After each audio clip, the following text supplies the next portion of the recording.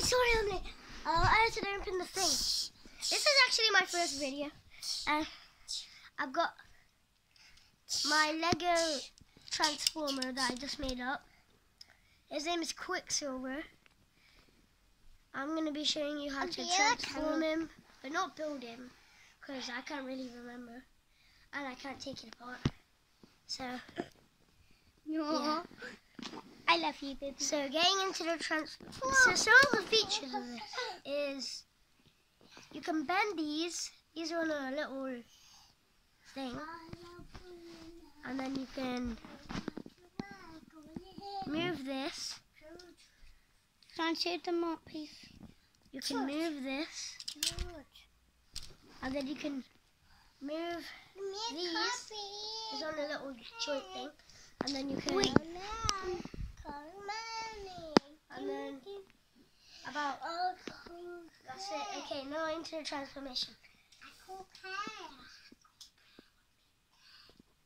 So what you're gonna do is you're gonna take the arms out and then you're gonna take this off and this little thing. If I can get it off.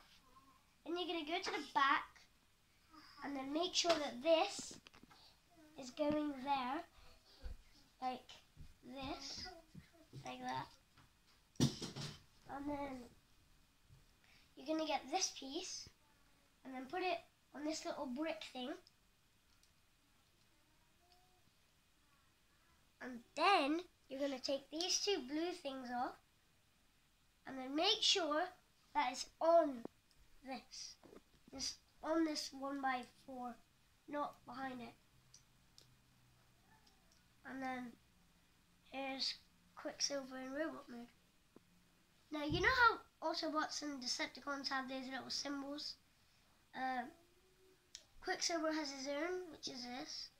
It's a claw with a tiny stud plate piece thing and there's two jumper plates on it. They're both on jumper plates. One has to be, I think we're done. So you have to put one jumper plate under and then put one piece under it and then put it like this.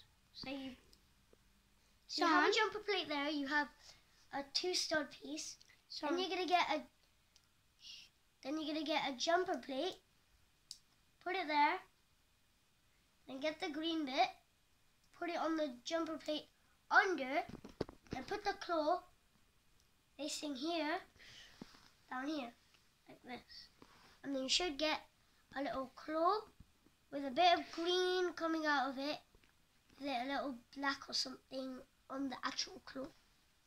And then that's all Quicksilver for today. This will have to wrap it. Uh, we'll have to wrap it up now. So, bye.